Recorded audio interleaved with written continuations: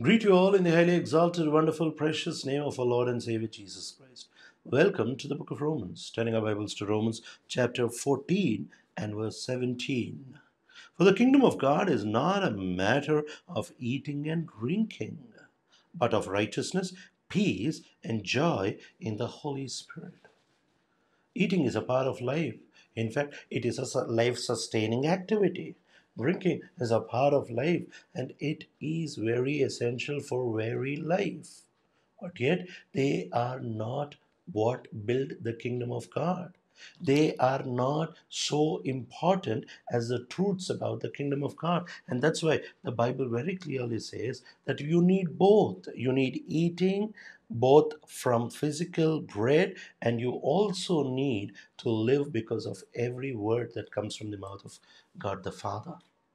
And we obviously need to make a distinction here where uh, your eating and drinking does not build the kingdom of God.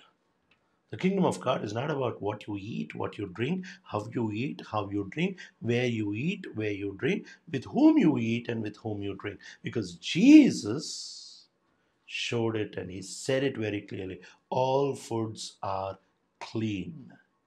He said, all foods are clean because these foods will never make you unclean because they just go inside and go out. And then what is the kingdom of God? The kingdom is, of God is not what goes, goes inside and goes out. The kingdom of God is what stays with you for all eternity. And he uses three beautiful terms. He says, righteousness, peace, and joy in the Holy Spirit. Righteousness is your standing before God. It's about your relationship with the Lord. Peace is about your relationship with people around you and with uh, and with God also.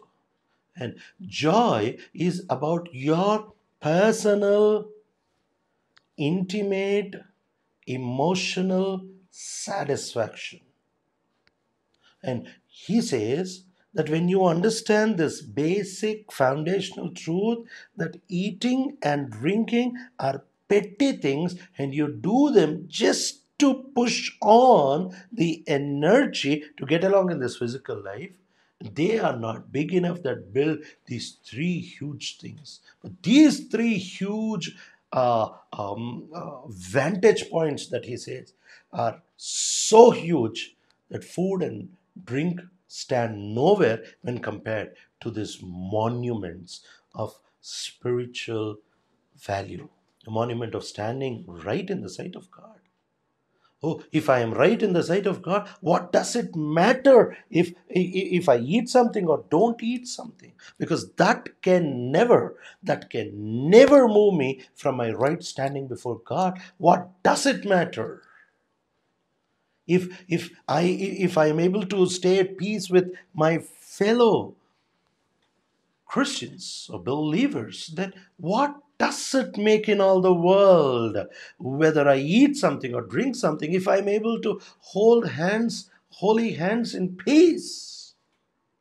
And if I am able to enjoy within myself the consummation not of the flesh, not of sin, not of the world, but joy in the Holy Spirit. Then where does where does eating and drinking stand?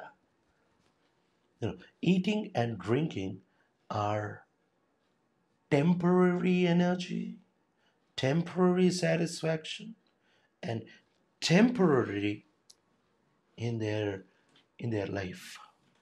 And so we need to be able to separate this simple thing what is temporal and what is eternal, what is common and what is holy, what is non essential and what is essential, what doesn't stand and rot away and what stands forever.